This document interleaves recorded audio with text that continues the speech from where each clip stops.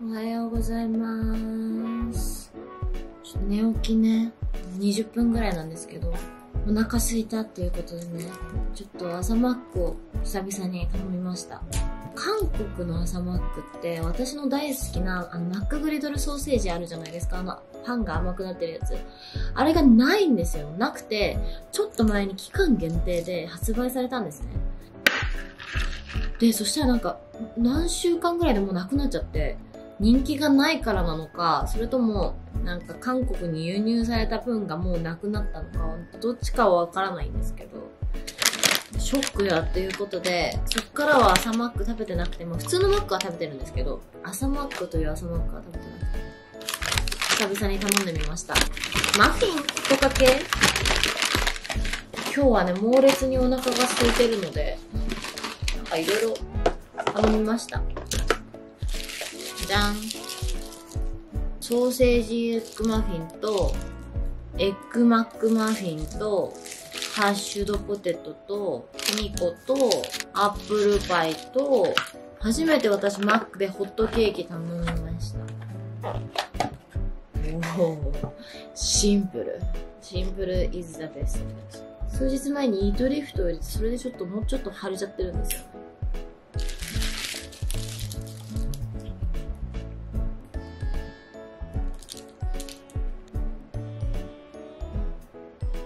っとね、とりあえずハッシュドポテト。うん。冷めてても美味しい。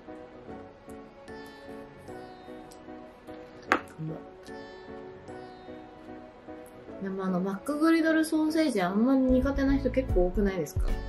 私、あれしか好きじゃないんですけど、逆に。朝マックと言ったら。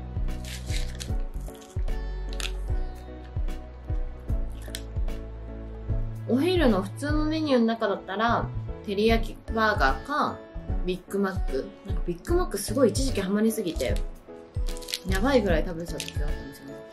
ビッグマックのなんか特殊なソース、美味しくないんですかあれ。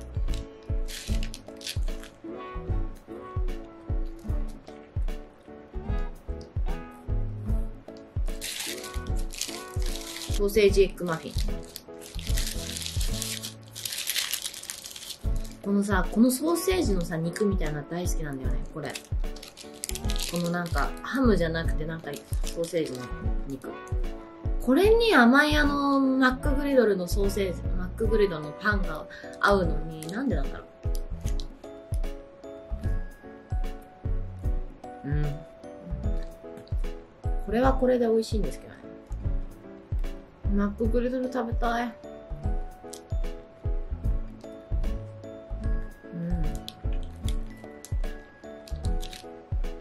食べながら、最近ハマってることとかでも話そうかなと思って。特にないんですけど、ないみたい。いや、てか、ファーストラブ、一日で見終わりました。ネットフリックスの。バカ泣いた、本当に。アホみたいに泣きましたね、あれ。もう1話目ぐらいから、てか前話ぐらい泣いてたかも。で、とどめにあの8話ぐらいで、9話までしかないんですけど、8話でもう、頭がガンガンでしたね、次の日。やばかった。なんか、まあその、韓国なんで、日本語で、韓国語の字幕で見てるんですね。わざと。まあその勉強のためにもなるしね、ちょっとわかんない単語とか出てきたら、なんだろう？みたいな調べられるし。で、あの、ファーストラブのその宇多田ヒカルさんの曲が流れてる時とかに、歌詞の和訳が出るんですよ。和訳じゃない、あの、ハングルで出るんですけど、韓国語の意味が。その韓国語の意味のなんかその、英語の部分のこの翻訳の仕方とかもめっちゃ感動で、やばいみたいな。そのなんか文字だけでも泣けるし、歌だけでもね。で、なんだっけ。ちょっとホットケーキ食べます。そうね。やばい、とりあえず。見てほしい、普通に。見てない人いたら。なんか最初1話目ぐらいだと、なんか、ちょっとこれなんかどんより系と思って。なんか退屈系かなと思ったんですよ。そんなことなかった。えー、やば、マックのホットケーキ初ですわ。あと、韓国の恋愛リアリティ番組見るのにハマってて、最近はディズニープラスでやってるピンクライっていう恋愛リアリティにハマってるんですけど、ちょっと前までは、ファンスンヨネって言って乗り換え恋愛。でも日本にはないらしくてまだ配信されてないらしいんですけど、もう韓国ではもう全員が見てるって言ってもいいぐらいもうすごかったんですね。1ヶ月前ぐらいにも最初から終わっちゃったんですけども、その時とかも全員、みんなのストーリーがもうファンスンヨネなってて。るぐらい本当にもう社会現象ぐらいで、それはもうちょっと思ったんですけど、本当にわーってなってて、それもね、超泣けるんですよ。もう一回別れたカップルが、まあ4組ぐらいがもう一回その同じ家に住むみたいなざっちょざっくり言ったらね。でまあ他の人と恋愛してもいいし、まあ寄り戻してもいいし、まあはたまたもう一人の道を選んでもいいしみたいな内容で、で、その中にね、6年か7年ぐらい付き合ったカップルがいるんですよ。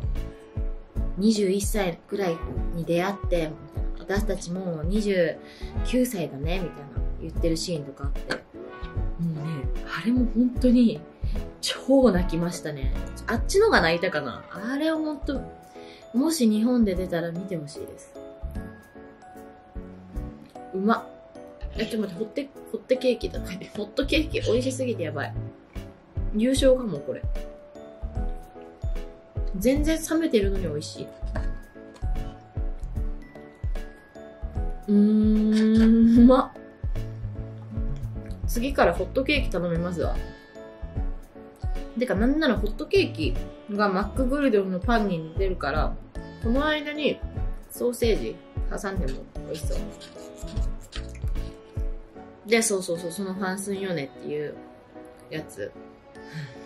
泣けるんで 見てみてください。で、なんかその、それが1ヶ月前ぐらいに見終わって、やば、どんよりしてた時に、友達から、最近ディズニープラスから始まったピンクライってやつ見てみてって言われて1話見たんですけど、1話から面白くて、でその内容っていうのが、まあそれもまあなんかもうお決まりのなんかもう同じ家にまあ何人か女4とか男5とか住んでみたいな。でも一人一人嘘を隠してるんですね、全員。で、その嘘が、まあ、前は前はとかで、この人の嘘を、こう、明かされるんですけど、その嘘が結構、えみたいな嘘とかもあったりとか、まあ、ちょっと途中でも、あと2話しか残ってないんですけど、途中ちょっと中だるみっていうか、あれみたいな、ちょっとつまんない、つまんない回とかもあったりして、まあこういう感じなんですけど、まあ今は面白い。マジで終わってほしくないですね。って思ってるんだけど、12月、もう中旬ぐらいから、ソロ地獄の2が始まるじゃないですか。やばい、楽しみすぎる。エッグマックマフィン食べてみます。これは何だろう？あ、これはなんか卵とチーズと、なんかこのもう一個の方の肉じゃない、もうただのちょっとハムみたいな感じですね。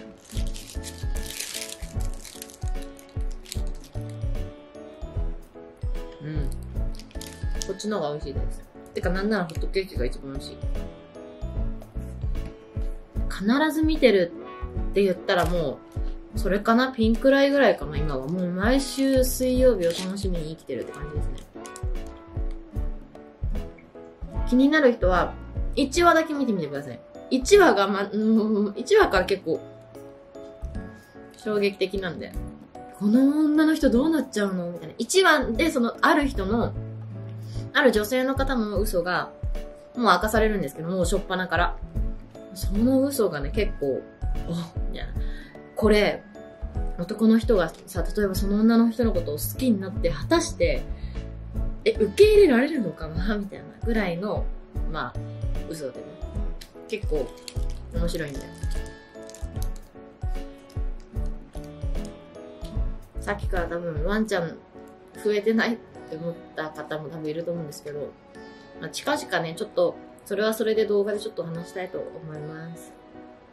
なんか話さないつもりだったんだけど、話さないつもりっていうか、別に、まあいいかなっていう感じだったんだけど、気になる方も多いだろうし、ちゃんと話します。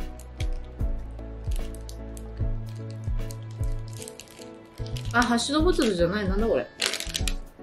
こんなの頼んだかな。チーズスティックでした。頼んだかもしれない。絶対これ伸びないよね、もう。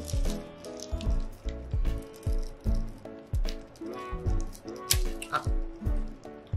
1ミリも伸びなかった。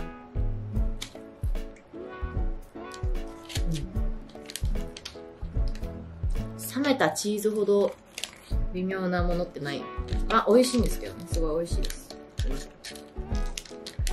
これなんか周りの味が美味しい。なんだろう。ちょっとニンニクパウダーみたいな。かかってる。うん。今日は2時から友達とカフェに行きます。なんかカフェだから、ご飯じゃないじゃないですか。ご飯多分、まあ普通カフェみたいな感じで、一人だけなんかバクバクご飯食べてるのもちょっと気まずいんで、ちょっと腹ごしらえしました。なんか昔、今よりその15キロぐらい太ってる時に、本当に食べてたんですよ。食べれてたんですね、量を。友達とご飯行く前とかに、わざと腹ごしらえとかして 行ったりしてましたね、家で。家でなんか、ラーメンとか食べてからの友達とサイゼ行くとか、友達となんかファミレス行くとかやってましたね。やばくない？今思い出して普通ににやけた。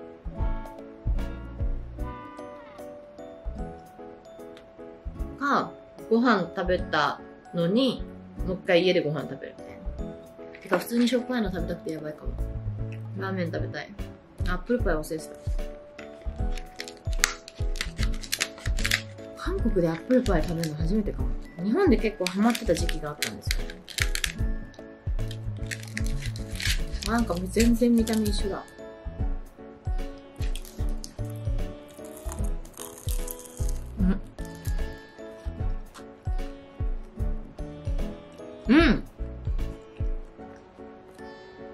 く同じ。1ミリも変わらない。うん。アップルパイって冷めてもさ、カリカリだからすごい。うまい。ダメだ。しょっぱいの食べたくて仕方ない。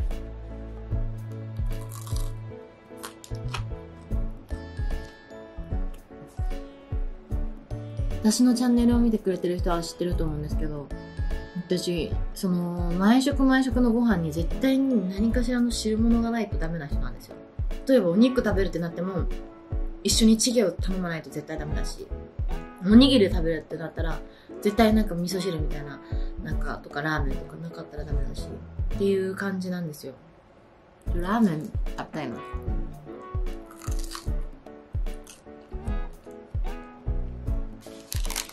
よいしょ。は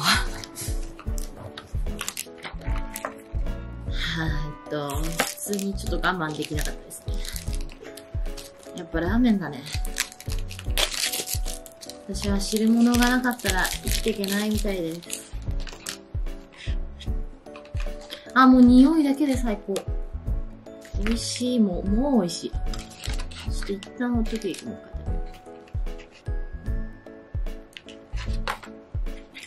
定期的にね、この中本を送ってくれるんですけど、家族が。ラスイチ。泣いてしまう。なんか送ってもらわなきゃ。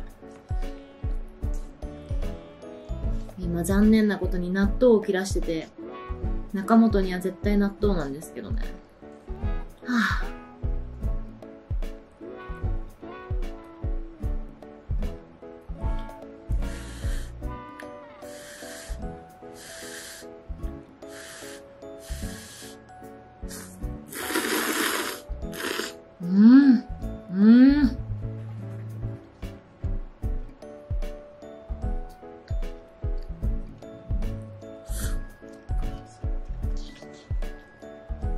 優勝すぎ。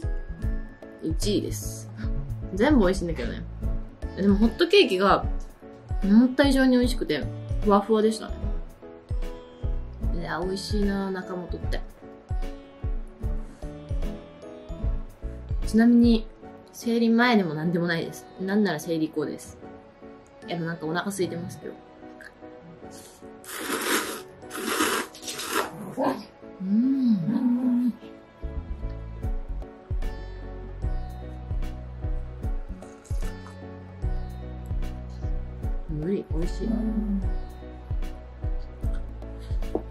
前にもどっかで話した気がするんですけどマックに汁物売ったら売れると思いません？汁物って言ってもそのラーメンとかじゃなくてミネストローネとかそっち系？ポテトからのラーメン。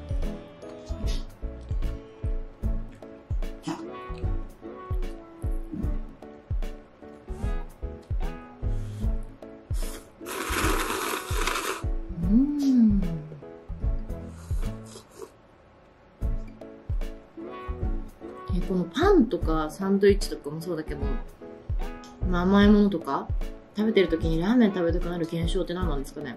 これみんな全類みんな同じなのかな？それとも何かが不足しててみたいな、なんかあるじゃないですか。例えば、氷私昔めっちゃ食べてたんですよ。でも氷食べる人ってなんか貧血とか、例えば甘いもの欲してる人はなんか疲れてるとか、そういう現象なんですかね、このラーメン欲するの。甘いものとかパンとか食べてる時に絶対ラーメン欲しいみたいな。何かが不足してるのかな？ビタミンとか？なんかゆるく食べてる動画とかも需要ありますか？こんな感じで朝食とか、今日の夕食みたいな。やっぱり食べる爆食系見てくれてるじゃないですか。でもそんな毎日爆食しないし、しかも爆食してる日に限ってカメラ撮ってなかったりとか、そういう時って、もう髪の毛もこんなオールバックとかにして、もうメガネかけて、超もう顔とかも洗ってないくらいで、なんかもう、テレビとか見てご飯食べるのがすごい好きなんですよ。わかるかな？完全オフみたいな。これも完全オフなんですけど、昨日なんか美容院行ったから、ちょっと髪がそんなにボサボサしてないっていう。だからちょっと今日撮ろうかなと思ったんですよ。普通にご飯とかっても、需要あったらまた撮りますね。